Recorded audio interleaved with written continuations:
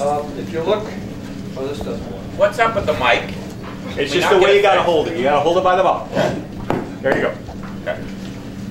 If you look at your uh, programs, it says uh, I'll be speaking from 11 to 11:15. I was told I have 15 minutes, but it's 10 to 11.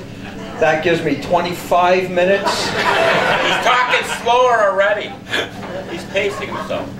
Some of you noticed my vest, my motorcycle vest. I'll talk about it in a few minutes. Kim asked me what do I want to speak about so she can introduce it properly. Obviously, that wasn't conveyed to the MC. I told Kim I want to speak about me, All you. all me. Because I'll speak about me like no one else can, because I can't trust other people to necessarily say nice things, but I will. Which is why I didn't do it. I have a bone to pick with you over your energy thing. Okay. We have to give the government everything we have, otherwise, how are they going to meet their pensions? That makes me feel better. How did I overlook that? You know, I, I was first noticed going back to uh, 1995, 96 after the uh, second Quebec referendum when we almost blew it. And I said, nobody could have fought a worse battle for Canada than the federal government did. So we set up a group called QPAC, QPAC, the Quebec Political Action Committee, and we went after every government, the provincial government, municipal governments, and the federal government more than any of them. And people, people were under the wrong impression of QPAC. They thought that we were there to fight for national unity. Well, what the hell do I want national unity for in a country where my rights are restricted, where my visibility is eliminated, where my language is second class? Why do I want to live in a country like that? Well, we're faced with this again, but this is not the focus of my speech, but I figure I'll throw it in. There's a referendum coming. I hope there's a referendum coming. And I hope that there are 100,000 Canadians who rush to Montreal a week before the referendum with signs that say, Get out! Yes.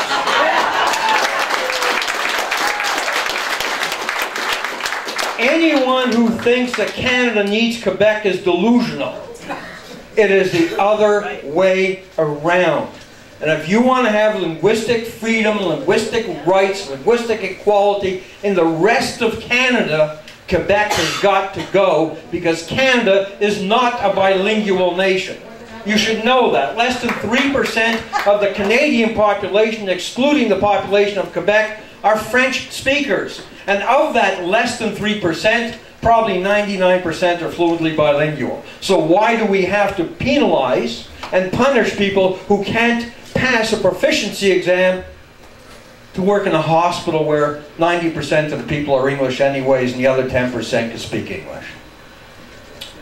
Let me get back to me. This is my motorcycle vest. I turned 64 recently. I had no idea what I was going to do with the meager left of my life. Like 64 is old.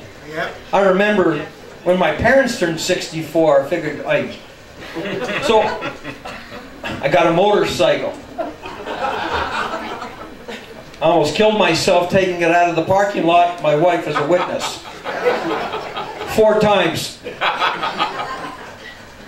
And I, I, I found a group of bikers, actually, they found me from Montreal, who have this ride called the R2Rs, the Ride to Remember.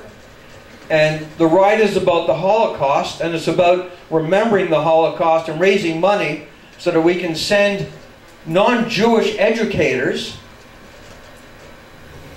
to teach their students about the Holocaust. Now, let me tell you something very quickly about the Holocaust. Six million Jews died, but six million non Jews died in the death camps as well. 12 million people were murdered because one group of fascists didn't agree with them. Not necessarily just their religion, but their political philosophy as well. They didn't like homosexuals. They didn't like people who were physically disabled. They didn't like people who tended to want to unionize. So it was much easier just to wipe them all out, including the mentally disabled, than to try to accommodate and find common ground. The world has not changed. Not even a little bit. We can sit here and have a great buffet breakfast and think, yeah, the world has changed, it's better now.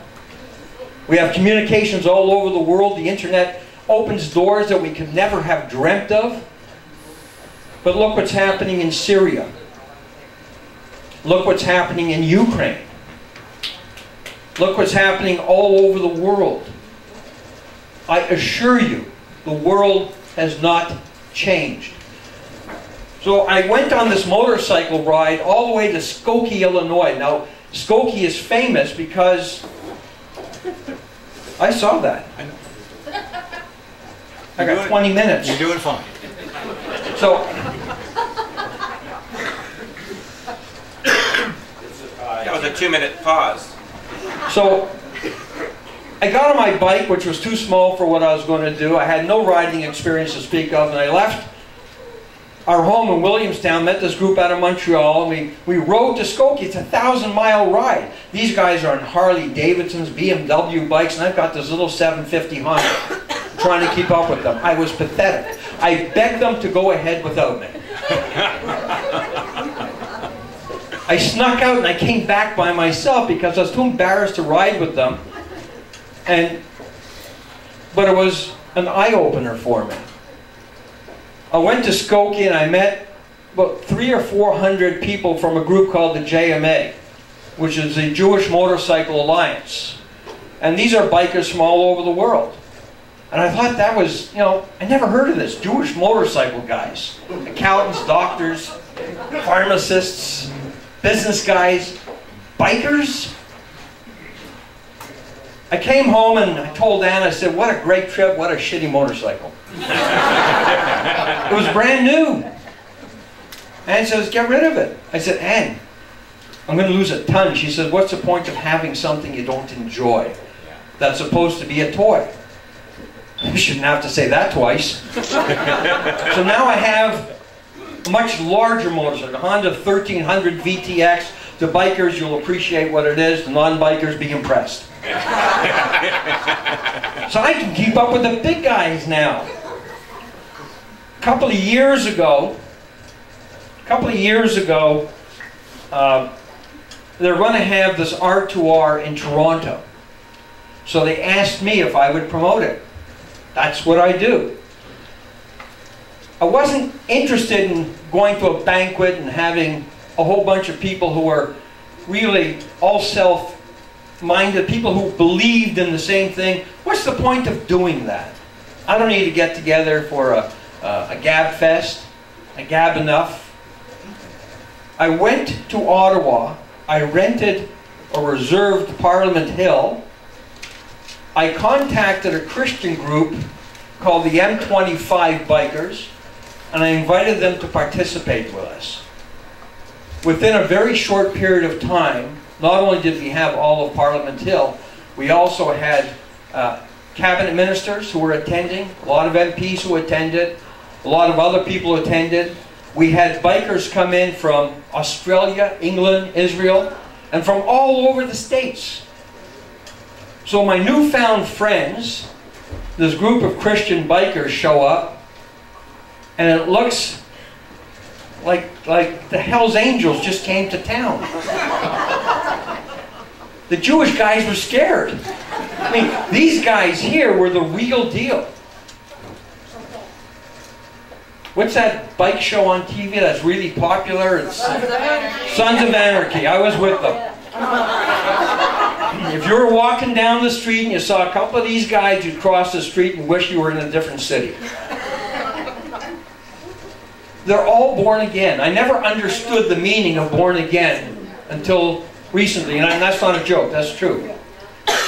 These guys, if they didn't find religion, if they didn't find God, if they didn't find Christ, they wouldn't be alive. Or they'd be in prison somewhere rotting for the rest of their lives. These were the worst of the worst, who became the best of the best. Now, I'm extremely proud to say that they've also become some of my best friends. They consider me to be one of the best Jewish Christians they ever met.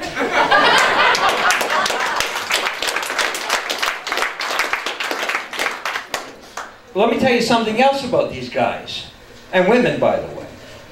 They're all really conservative.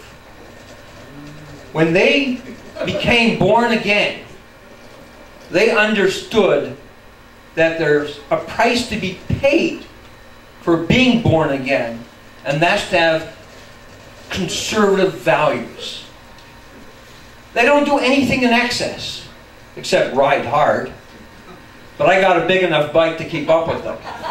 They don't know how scared I am, but. So we had this massive display on Parliament Hill a couple of years ago. It was incredibly successful. Then we went off to we went off to Toronto, or some of them did. The Christian guys, myself, and a few other Jewish bikers went to CFB Trenton, where my group, where I actually financed a large event for our fallen soldiers at the air base. And there's this tremendous monument that was built there. We helped donate money to it. The Christian guys, I couldn't believe it's not their fight. They're from Texas and God knows where else. They were very generous with their money to help our Canadian veterans. We had a color guard there. We had a rabbi who actually chanted the Kaddish, which is the Hebrew prayer for the dead. Our flags were flying high the Canadian flag, the American flag, and the Israeli flag. And it was an incredibly touching moment by everyone.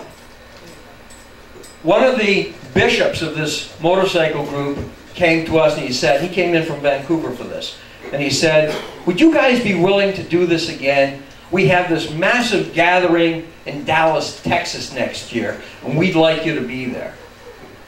Well, of course I said yes, not figuring